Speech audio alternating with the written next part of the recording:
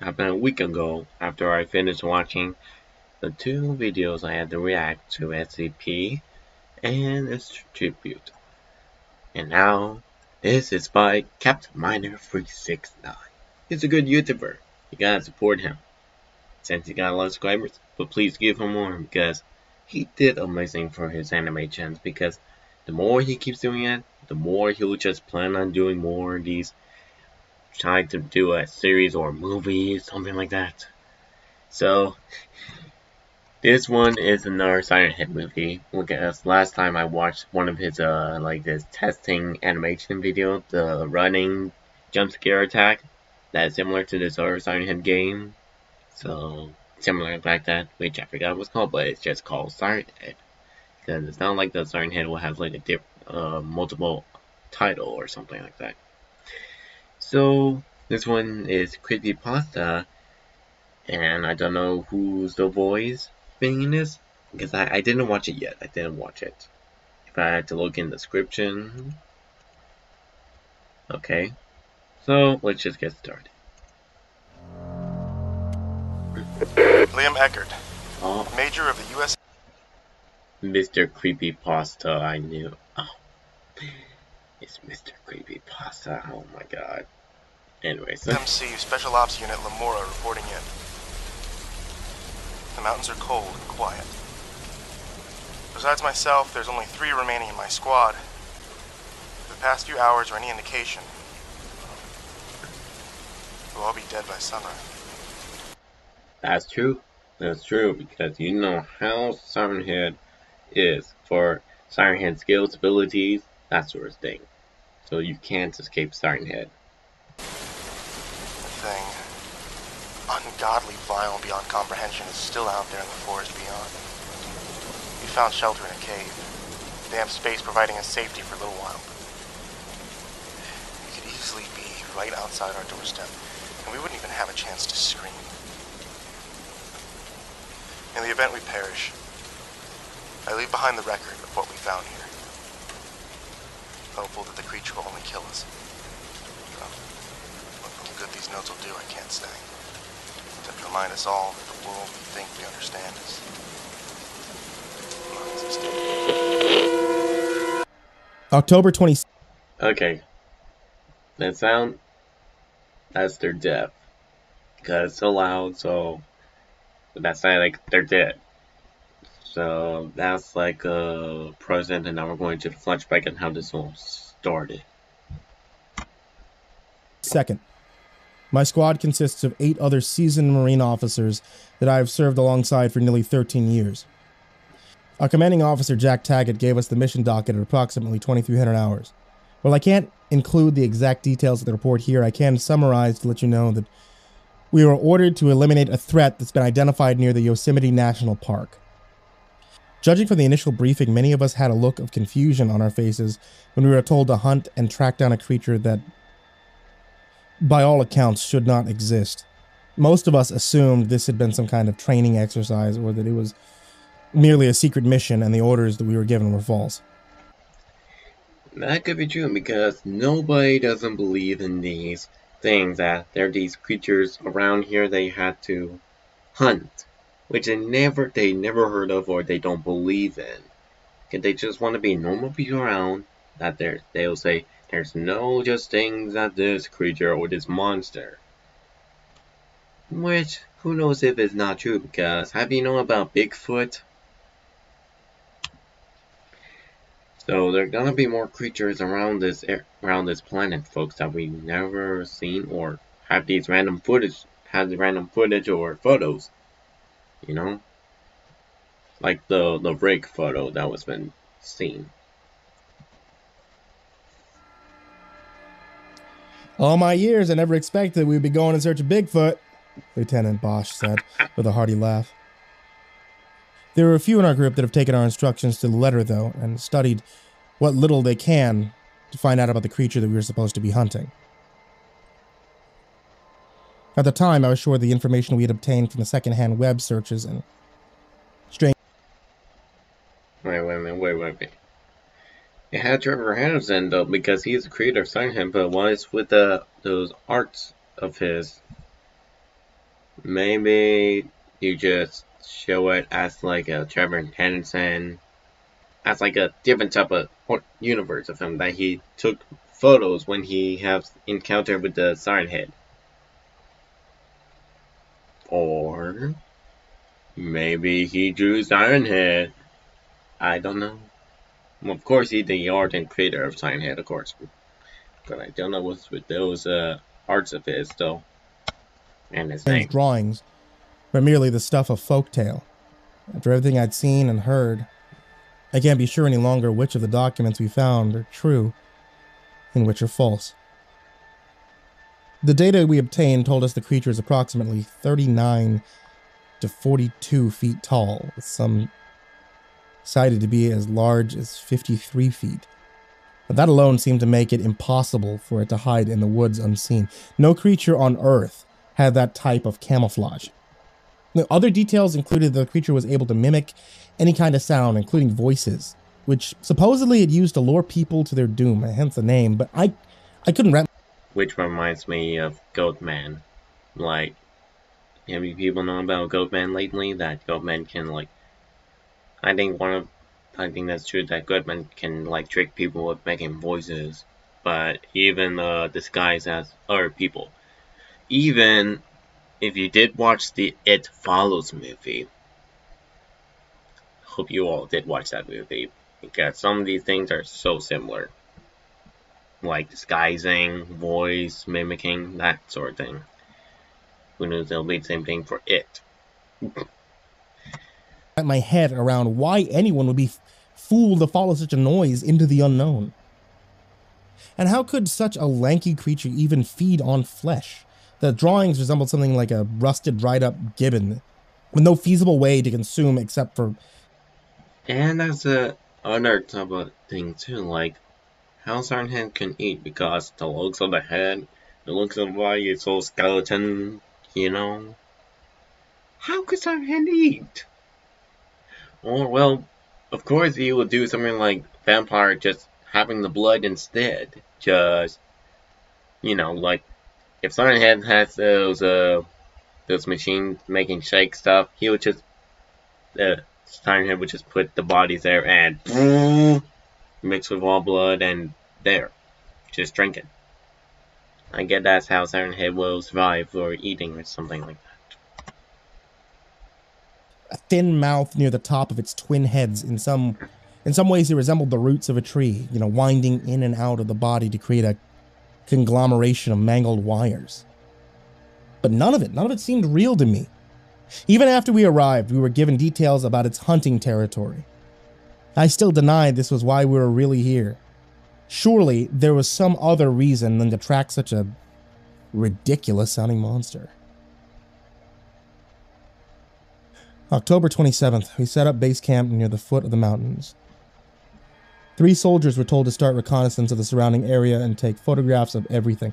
As Taggett explained, the creature could easily hide amid the forest by looking like any other large tree.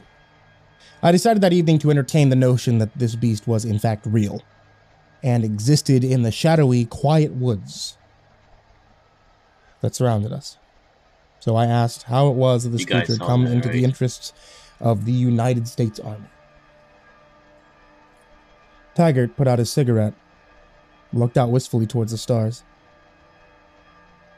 About two years ago or so, there was a survey going on over in Afghanistan near the Chinese border. Whole battalion wiped out. No one knew what happened for nearly three months.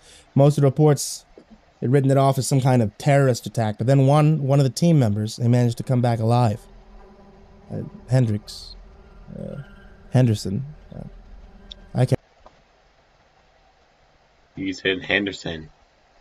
Trevor Henderson.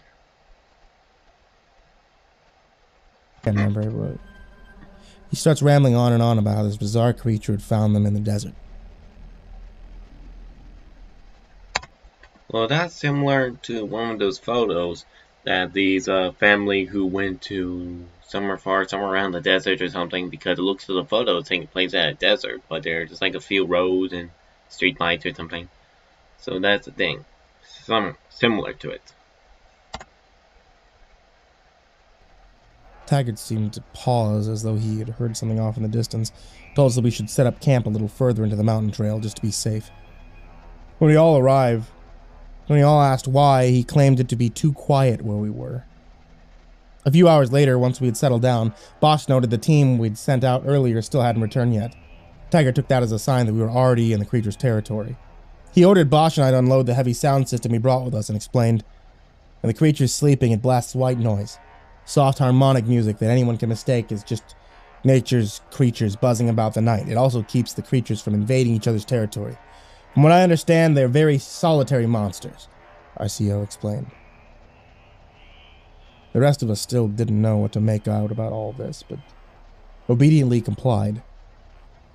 The remainder of the night was just as unnerving, as Taggart refused to sleep and kept adjusting the frequency of his radio. Might pick him up, he explained softly. October 30th, nearly All Hallows Eve. No more appropriate time to be hunting monsters, I suppose. We haven't heard back from the first recon team, and while Taggart seems to believe the monster took them, most of us think they simply bailed.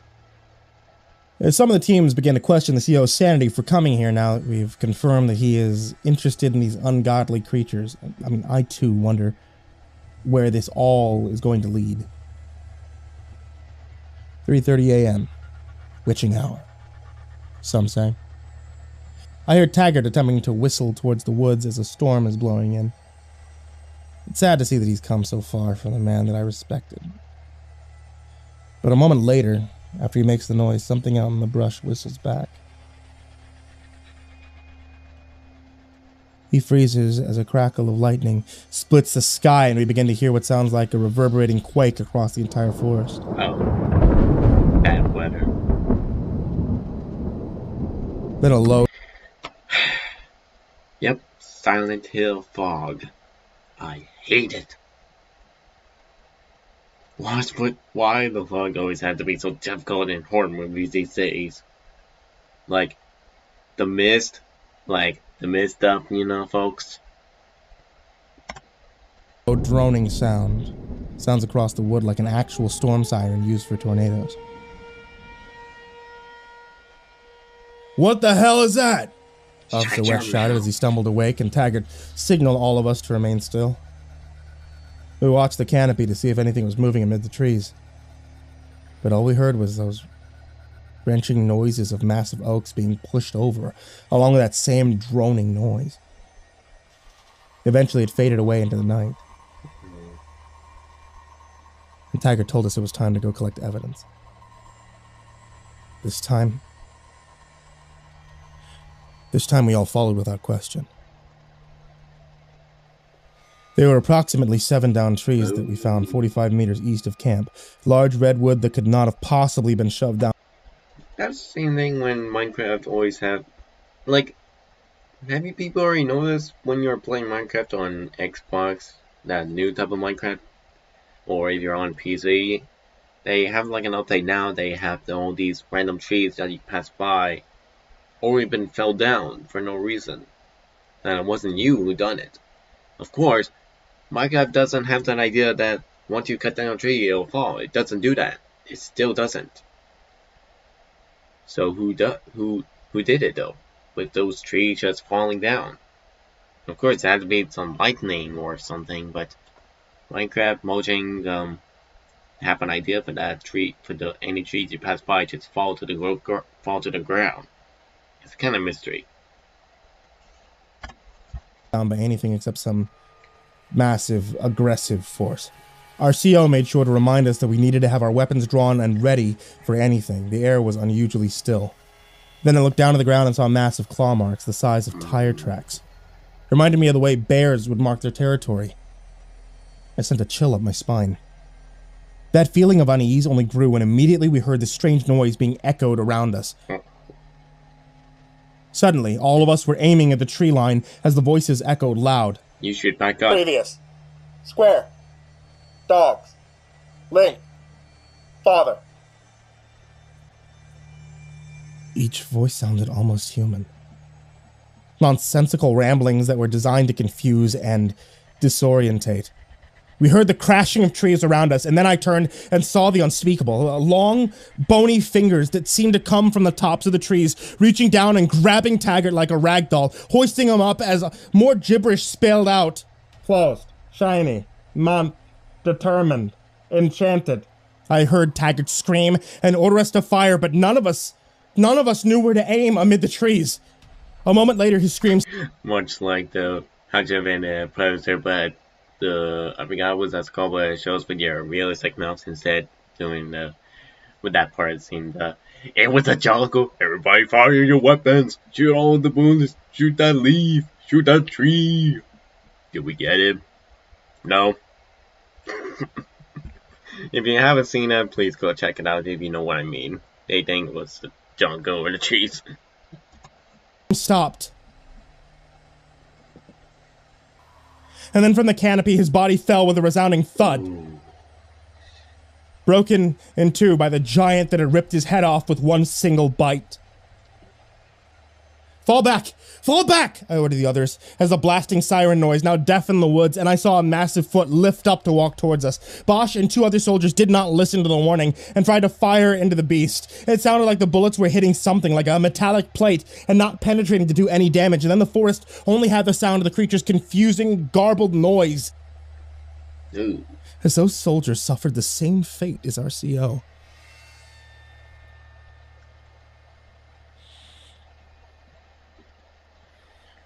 November 3rd. There are only five of us left. We've taken to the old fire trails that were used by rangers to radio for assistance. To be honest, not many of us know what we're supposed to do. Anytime we have considered leaving, the creature sends out another mighty roar of noise. Some of it even sounds like people we know. Taggart. I just Bob. saw that again. It's constantly on the move. Amid our limited supplies, we discovered more reports from Homeland Security that detail the the purpose of this mission to not only to track and monitor the monster, but to attempt to determine how it operates so that our own military can mimic it on the battlefield. According to Senior Officer Harold Garand, one of the main tasks was to find a weakness for the beast and Yeah, he looks like soldier. but perhaps what was most disturbing out of the entire report was what the concluding sentence had to say.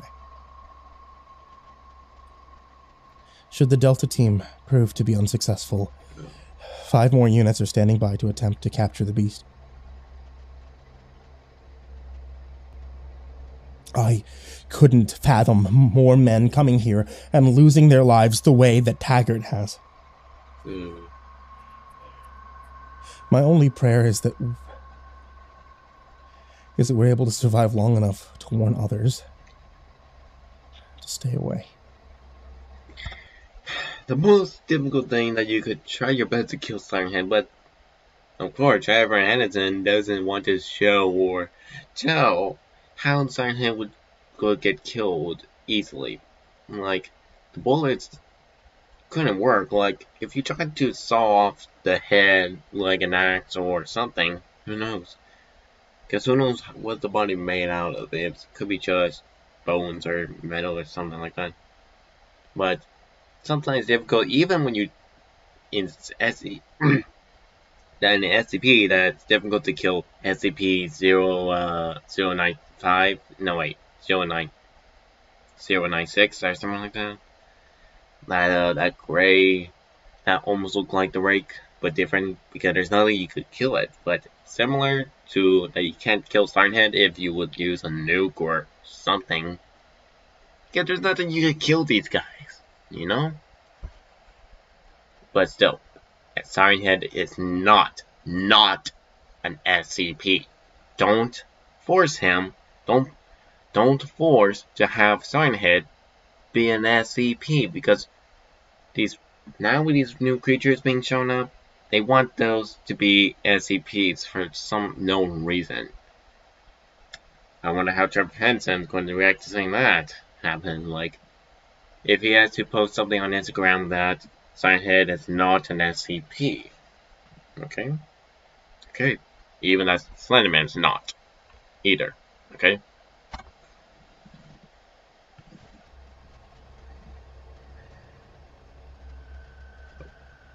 Okay, how do you do that? How do you do that? Of course, you have to just uh, wait, wait, okay, uh, of course there's weren't there weren't any like keyframes for moving the sun. Like, still doesn't make sense though. Like, if I still haven't looked any other tutorials on my animator. Darn it. November 7th. We haven't heard the creature for several days now. We decided to attempt to escape the nightmare. We, we found an old map discarded by some unfortunate camper here, and we're gonna use it to find a Sorry radio tower. lost. God be with us that we can find it there without incident. Halfway to the tower, we heard the distinctive slow white noise of the creature echoing around the area. At first, the melody would have been something that could put us at ease, but given what we know now, not a soul dared to take another step. I raised my weapon and moved up the trail, looking about at the different massive tangled roots and wishing I could determine which one might be hiding the malevolent tree god. The other men followed me cautiously as we arrived at the tower, hastily climbing the steps to signal to our home base that we needed rescue. Opening the door to the dusty watchtower, I got the strange sense of being watched as I stepped into the shadowy room. It was clear that the place had not been operated in in quite some time, and that any equipment we hoped to use had now fallen into disrepair. Don't you dare turn that on. There's a first aid kit, a few flare guns. Nothing major, though. Wes reported as he turned to me for orders. With Taggart gone, I, I was opted as leader, and the responsibilities didn't feel as great as I had hoped. Given what we were up against, I knew that one word wrong could send us to our deaths. I think I opened my mouth to order them to gather what they could, but the words never came out. Instead, that white noise shifted suddenly to a blasting, intense, shrill pitch that made us all fall to our knees in agony. The noise did not let up as I crawled over towards the Don't balcony of the watchtower, using the massive spotlight that was attached to the side of the building to try and get a good look at the creature. I'll never forget the long stride. That's a bad idea if you had to turn on the light, because similar to Do You Copy game, don't you dare turn on that light. Cause you let the creature know where you are. Don't you dare turn the light. They... It's a bad idea to do that, folks. Of course you have to do that to help one of the survivors around the forest, but no use. Like, don't you dare turn on that light. Don't let it find you.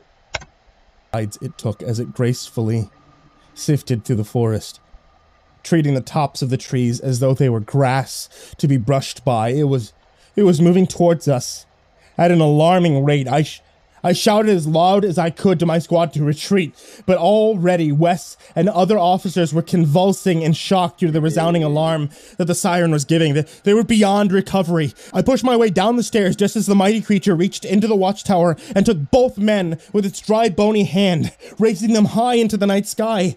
As the garble turned to a soft, almost soothing music, perhaps something to ease them into accepting the fate they were a part of. and then it dropped them towards its open mouth. The teeth gleamed in the moonlight as its massive, snake like tongue whipped out and gobbled them up. The rest of us stood transfixed as it crunched their bones like we might chew on crackers, horrified at the idea that our fellow soldiers had fallen into the belly of the beast while still alive. Then, just as suddenly as it had come, the creature stalked back into the forest finding its way amid the taller of the trees and disappearing from sight. We should stay here, the man next to me said, trembling as rain began to fall. Maybe that's a bad idea to stay. Like, gather all your stuff, find I saw no reason to object, too dazed by the events of the day to even to even consider making a run for it.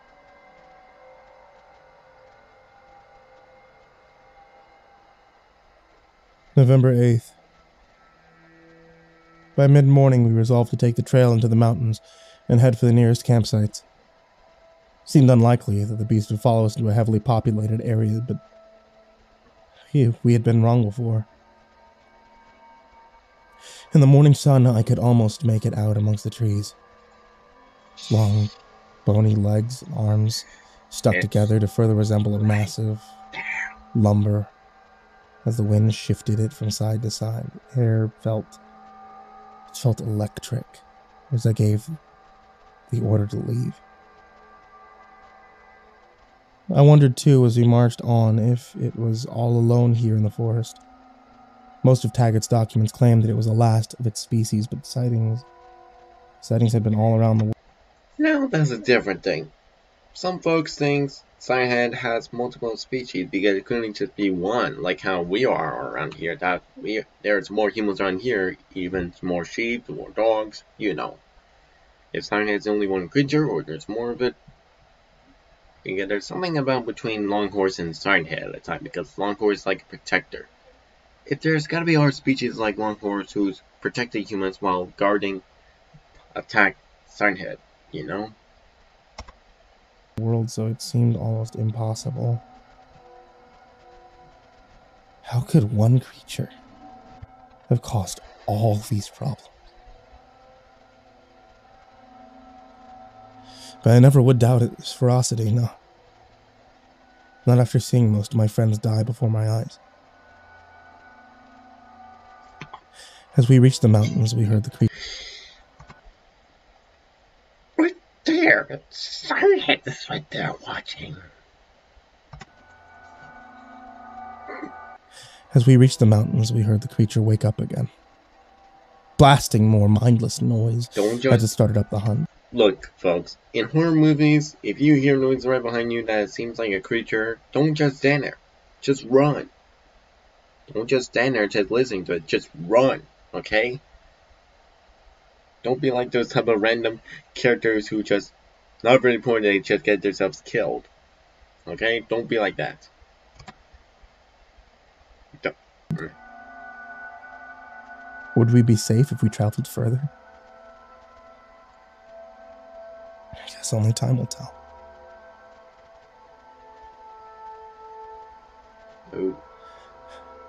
I didn't try to make any further notes as we traveled this harsh landscape. The creature seemed to be one step ahead of us the entire time, forcing us into these caverns, mimicking even even our lost loved ones to torment us with the fact that we're now mice trapped in a maze.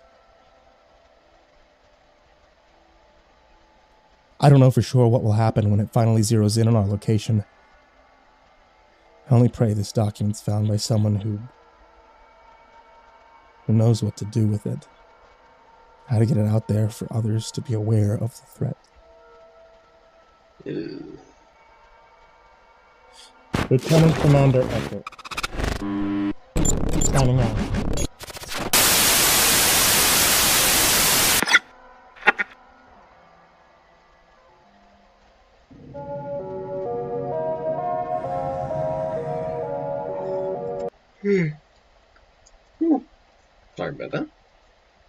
Yeah, I was just tired, that's all. But still, that was amazing. Good animations, good graphics. That was a horrifying ending right there since Mr. Creepypasta or the author who made the story did really good on that part. Because nobody these days in the Creepypasta or horror movies never get themselves a happy ending. Because horror movie doesn't get themselves a happy ending. Well, Insidious or Conjuring does. Still. That was brilliant. I think you were the only one who done who and Captain Miner is the first one who did the animation version of this creepypasta video. I mean that's really good, really good. Even so, the break course i had still looks good. But I'm into the block version of Sirenhead because I don't want round or circle stuff, you know. Still, that's awesome. That's a lot of work for you to do that. I mean, my On if it was all I mean, the looks of these works that Captain Miners had done, they're really good on it. Major of the USMC special Man. That was awesome, Capminer. You did amazing, and I can't wait to see more of your work. If you decide to just do like a movie or series or something, because the more you done your animations, the more you learn things from your graphics, the more you ever think of doing a movie or series or anything you ever plan on doing. Maybe another could be plus animation, who knows? And that was amazing. I can't wait to see more of it. So I hope you enjoyed this reaction, folks. Please support Cap Miner because Cap Miner did amazing for this work of this animation. Come on, guys, nine likes. Give him, give Cap Miner more, okay? Because it, Capminer took a lot for doing this. Please support, okay? The link is down in the description below. So you can go to the channel and watch the original video and I hope you'll enjoy this. And I might plan on doing watching Team Fabulous reanimated this time folks. Next weekend, Team Fabulous 2 reanimated. Okay, because I was planning on doing it those two weeks those weeks ago. Hmm. But still, hope you enjoy this. This is Lord of Flames here. I'll see you guys next time. Bye folks. Have a wonderful day.